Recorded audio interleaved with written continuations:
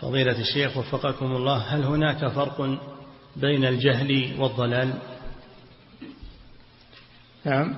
هل هناك فرق بين الجهل اللي ما يعرف الحق هذا يجهل. أما الضلال اللي يعرف الحق ويتركه أو يعبد الله على غير علم مثل النصارى مثل الصوفية يزهدون بالعلم. نعم.